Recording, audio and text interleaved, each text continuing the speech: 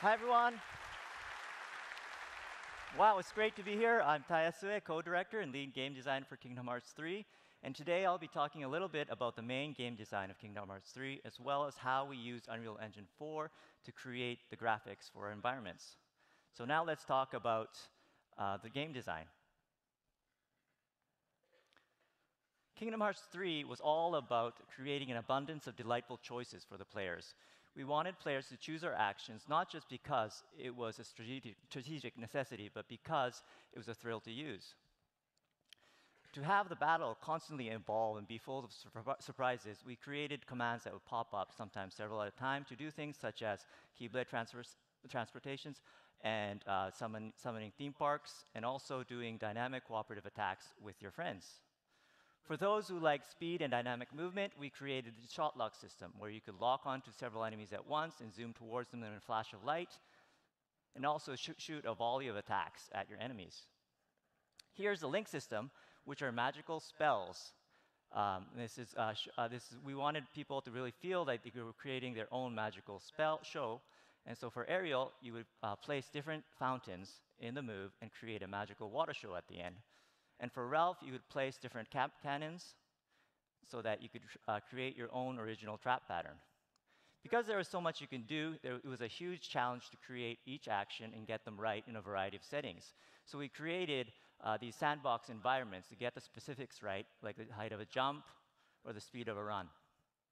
Another challenge was doing all the highly stylized assets and creating them, um, for example, the uh, effects. Um, each effect in Kingdom Hearts 3 had a sort of dramatic arc with a beginning, a climax, and a resolution. So we created a timeline module inside Cascade that let us control the timing of each uh, effect generated.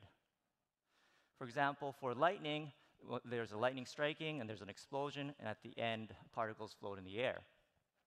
For the animations, we used a mixture of procedural techniques and also handcrafted keyframe animations. An example of the newer procedural techniques would be Rapunzel's hair. Uh, we integrated uh, in-house uh, tools so that Rapunzel's hair would react physically to her environment. Here's an example of a handcrafted keyframe animation where we created the Keyblades transforming with the bones sort of scaling to create tune-like and anime-like expressions. Uh, we couldn't rely too much on uh, efficient middleware to create a lot of our assets because they were so varied. Instead, we relied on the craftsmanship of our animators to create gameplay that was beautiful and bold. Next up, I would like to talk about the graphics and how we created them. Uh, we wanted players to feel like they were playing in the original Disney film. So, and because original films had these unique artistic styles, we created whole new looks for each world with different shaders and different textures, different materials. In the Pirates of the Caribbean world, we created a system where you could combine different sets of waves to create realistic waves to match the film. So by changing the parameters and properties, you could change, make the waves into peaceful waves, choppy waves, and stormy waves. Another thing we wanted to get right were the clouds. Um, each world in Kingdom Hearts 3 had these stylized clouds, so we created a ray marching feature that let us create volumetric clouds. And by changing the properties, we can make change the movement, uh, the shape, and the texture of the clouds to fit the original movie. Hmm.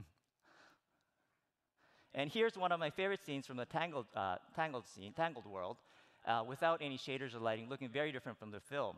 And I'd like to show you what happens when you add our post-processing features. So one of the things we really worked on were the shaders, and there were four different shaders in the game. And by changing them, we could change the color of shadows. And I guess we could do other things like uh, create borders to create a more vibrant look. And here we're changing the color scheme and adding effects to create a warm, magical look that really matches the film. And finally, we're adding particles that are light uh, lanterns. So we were able to change in real time and rap rapidly iterate the number of uh, lanterns to really match the look of the film. So that was my uh, short presentation. Um, I just like to add one more thing. Um, Unreal Engine was excellent, amazing technology, very cutting edge. But I think one of the biggest draws for me personally was the ability to collaborate with a huge Epic community. Um, when we really crashed into a huge wall, there was always someone there to help us out. And I guess Kingdom Hearts 3 a, as a whole is a huge collaborative endeavor with our friends from Disney and Pixar really working with us um, and giving us great feedback on story, animation, and art. And the Epic community really giving us and sharing technology with us. And so that was great. And most of all, I guess the fans, they were excellent. Um, they really um, gave us a sense and meaning to what we were doing. And I guess that really pulled us through. So I'd like to thank everyone that was involved, and I think I'd just like to say that the game is what it is because of you guys. So thank you. Arigato gozaimashita. Thanks. Thank you. What a, what a cool look under the hood.